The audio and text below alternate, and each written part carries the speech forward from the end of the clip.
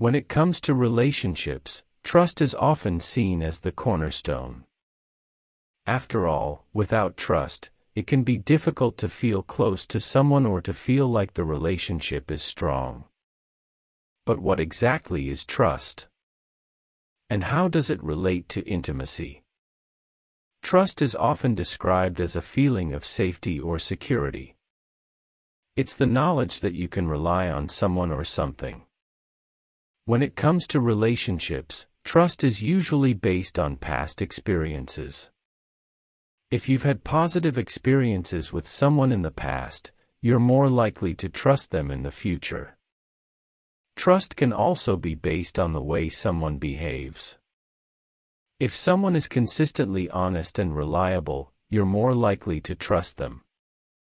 Intimacy, on the other hand, is about closeness.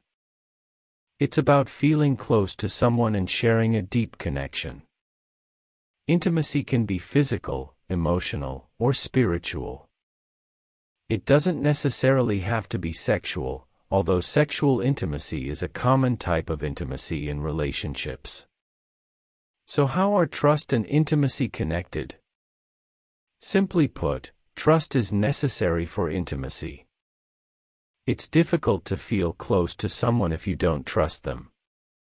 And without trust, it can be difficult to build a strong, lasting relationship.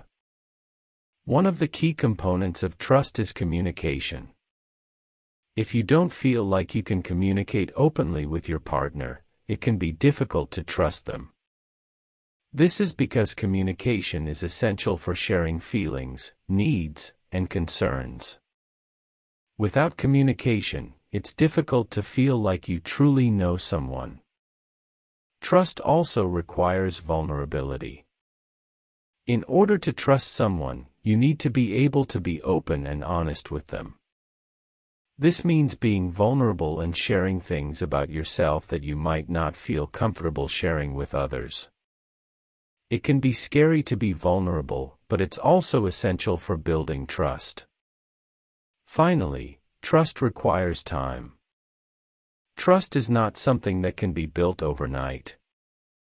It takes time to get to know someone and to develop a feeling of trust. This is why trust is so important in long-term relationships. If you're looking to build trust in your relationship, there are a few things you can do. First, make sure you're communicating openly and honestly with your partner.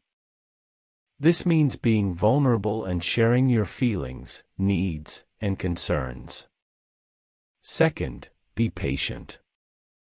Trust takes time to develop, so don't expect it to happen overnight.